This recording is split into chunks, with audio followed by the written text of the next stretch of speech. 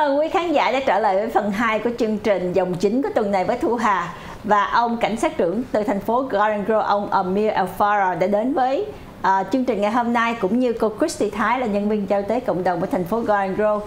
Thì tiếp theo phần 1 chúng tôi có chia sẻ một ít về những sinh hoạt của cảnh sát cũng giống như là những cái chương trình sắp tới của uh, sở cảnh sát thành phố Garden Grove dưới sự điều hành của ông trưởng ty cảnh sát mới là vừa mới nhậm chức vào tháng giêng năm nay và bây giờ đã được 4 tháng rồi thì uh, những cái sinh hoạt của cảnh sát trong tháng qua ừ. Thu Hà thấy rất là nhiều người uh, trong đồng hương của chúng ta có đến tham dự vào hồi cuối tháng tư đó ha mới yeah. Dạ. mới có một hai tuần qua yeah. Dạ. là um, Coffee with a Cup thì yeah. Dạ. Christy có thể chia sẻ Um, dạ vâng thì với cái nỗ lực là mình sẽ muốn mình muốn connect và outreach với lại cộng đồng.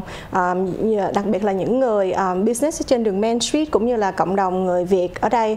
Thì um, cuối tháng tư vừa qua bên cảnh sát là có một cái buổi là coffee with the cup ở tại tiệm trà Phúc Long ở trên đường Main Street.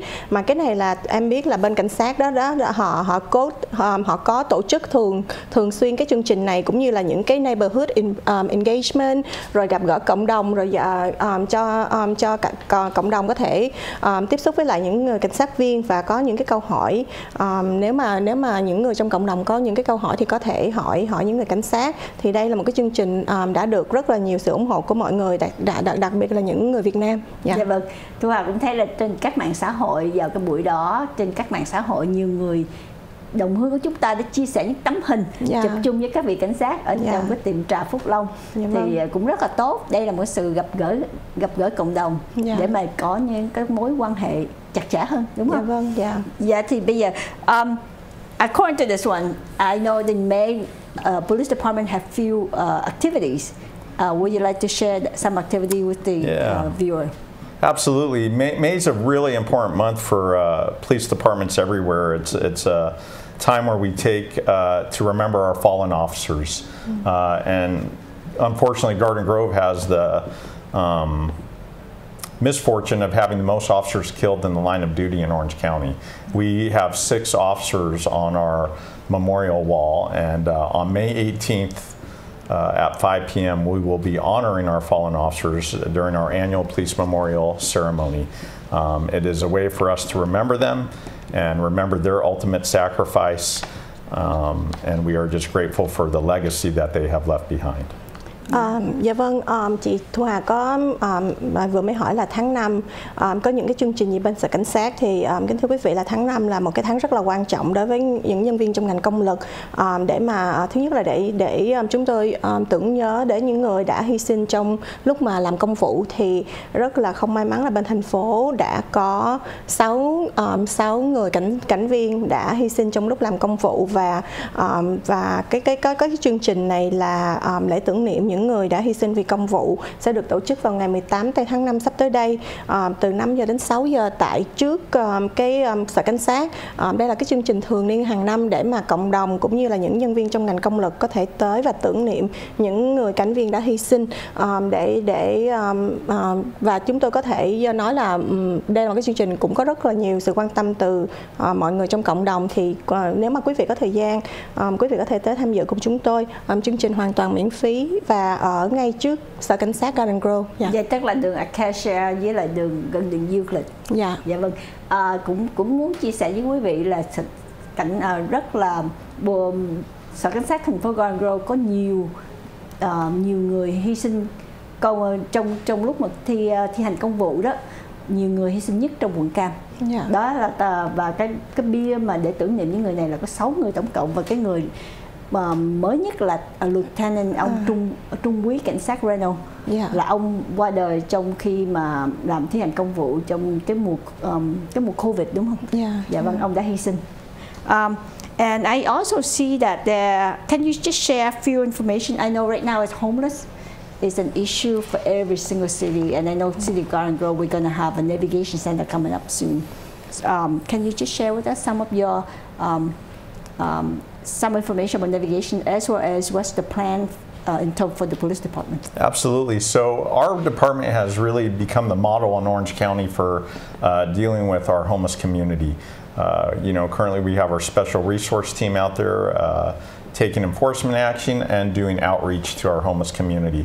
Uh, but more importantly, we have a navigation center coming up, and that is a Tri City uh, partnership with the cities of Fountain Valley and Westminster. And the Navigation Center is going to be over on the east side of our city off of Westminster and West in the Industrial Center. And it's uh, gone out to uh, be built out for 85 beds. This is a referral based center. So, what that means is someone from our police department or our Be Well program, which is part of our homeless outreach, has to refer the person into the facility. And there they will have uh, you know, professionals who are able to work with them on any substance abuse issues they may have. There is job placement and there is all kinds of outreach that will go on within that center. And the goal is to only house them there for about 90 days and then move them to a permanent housing solution. And so we're looking for long-term solutions and goals for our homeless community so we can help get them off the street and kind of improve the quality of life for everyone involved. Dạ vâng, um, chị Thu Hà có hỏi là vấn đề um, những người vô gia cư đó thì bên thành phố có những cái um, sự update um, gì thì um, kính thưa quý vị là um, bên thành phố họ đã tiến hành một cái trung tâm navigation center. Đó, đó là sự hợp tác giữa ba thành phố là thành phố Garden Grove, Westminster và Fountain Valley. Và chúng tôi đã có một cái trung tâm đó uh, um, ở ở đường ở trên đường um, ở trên đường West Street Garden Grove. Uh, với cái dự tính cái dự án ban đầu là mình sẽ có 85 giường để cho những người um, phụ nữ cũng như là những người đàn à, đàn ông và đàn bà tới để hỗ trợ họ. Nhưng mà cái này là phải qua cái sự referral của của một người nhân viên. À, đây là một cái chỗ tạm trú thôi. À, và cái người đó sẽ được ở 90 ngày để mà à, được nhận được những cái sự sự giúp đỡ giống như là về à, à, hỗ trợ về employment và à, giúp cho họ à, cải thiện cái tình trạng sức khỏe của họ. Và sau đó cái à, cái cái goal sau này là sẽ cho họ à, giải quyết những cái vấn đề về à, à nhà ở cho họ. Nhưng mà cái trung tâm này vừa um, được thông qua bởi những người uh, bên nghị viên của thành phố và um, sẽ sẽ tiến hành uh, và được uh, sẽ được uh, xây cất vào những ngày tháng tới đây. Dạ. Dạ vâng. And then if I can add also to that, the navigation center, mm-hmm. uh, we're hoping to have it online and up and running by the end of this year. Mm. So that's wow. the goal. And then part of that also what we did, it just started. Uh, this past month in April the Cal Optima program, mm-hmm. which is a street medicine program that mm-hmm. also does outreach to our homeless community.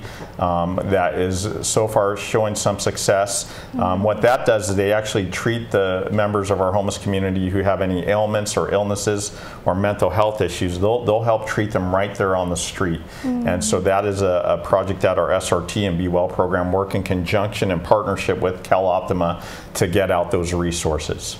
Oh. À, dạ vâng, ờ, à, thực sự quý vị biết không, ở tất cả những thành phố cái này là một cái tệ nạn và à, tất cả những nhân viên à, công lực đều cố gắng để mà à, làm một cái việc gì đó thì à, anh cảnh sát vừa mới nói đó là à, à, ngoài ngoài cái chương trình à, ngoài cái navigation center ra chúng tôi còn có là Be Well OC. Be Well OC là một cái à, một cái chương trình là một cái xe màu xanh, xe van màu xanh để mà giúp hỗ trợ những người à, trong thành phố có những cái vấn đề về giống như là non emergency, thí dụ như về à, à, tinh thần uh, khủng hoảng tinh thần uh, bị những cái um, tệ nạn giống như là trong gia đình bạo hành gia đình thì um, cái xe này khi mà quý vị thấy um, có thể có thể có được uh, hai người counselor mà người Việt Nam nha um, giúp đỡ cho cho cộng đồng.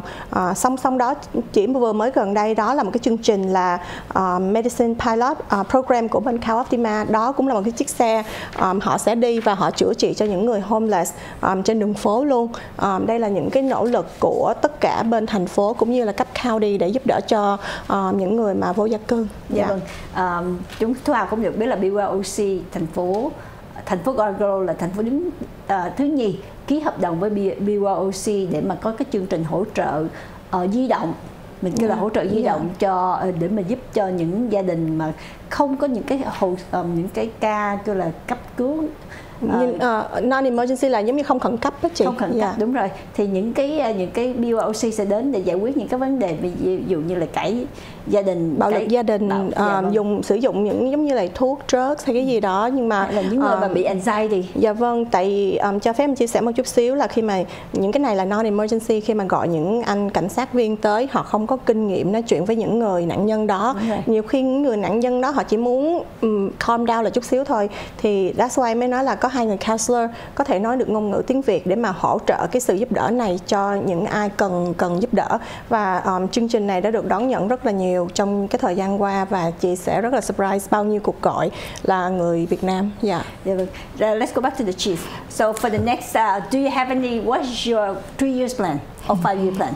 Would you like to share with the uh, with, with us? Well, I think, you know, we kind of talked about some of those initiatives that are taking place right now with the new PD building, uh, our homeless navigation center. And then, you know, for me, it's to continue to keep staffing up at high levels and also to make sure that we continue to reach out to our Asian American uh, community. I would love to see us uh, gain more officers from that community. That's a, a vital component for what I consider success. So we kind of have the makeup of our department is reflective of our community.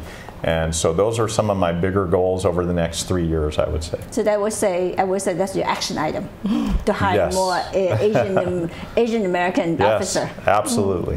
Dạ vâng, kính thưa quý vị, ông chia sẻ là trong những cái à, thời gian sắp tới ông cũng có những kế hoạch là muốn tăng gia thêm à, muốn thêm những nhân viên công lực có thể nói được nhiều thứ tiếng và đặc biệt những nhân viên công lực người Á Châu. Cho nên rất mong là những quý vị nào mà có con em muốn tham gia vào đội ngũ ờ, công lực của Garangro xin hãy liên lạc với thành phố Garangro. Uh, ờ, we're about to run out of time, so would you like to say a few words to the audience before we end? Sure, I just want to thank everyone for the support that I've, uh, you know, have received over the last four months, and I continue to be accessible and approachable. And and I would encourage you to come out to community events when you see them out there, and let us come meet me, come meet members of our department, and we look forward to seeing you all out there. Thank you.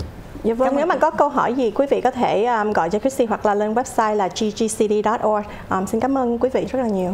Và xin cảm ơn quý vị và chúc quý vị một ngày thật an lành, thật hạnh phúc và hẹn gặp lại quý vị kỳ phát hình kỳ tới. Xin cảm ơn.